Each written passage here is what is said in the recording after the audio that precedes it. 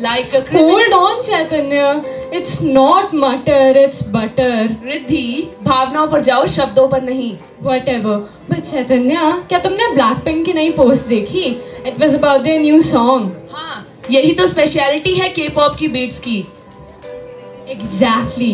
Even if we don't understand the lyrics, उन beats को सुनते ही our feet start dancing. I know right that's the thing about K-pop which is making our youth go crazy after them Not only our youth, but छोटे छोटे बच्चे भी उनके इतने बड़े fans हैं. But wait a minute.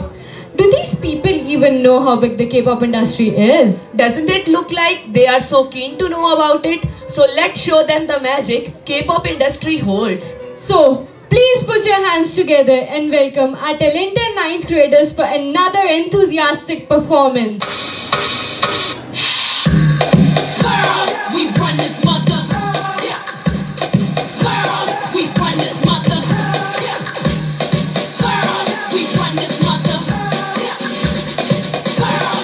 run this mother.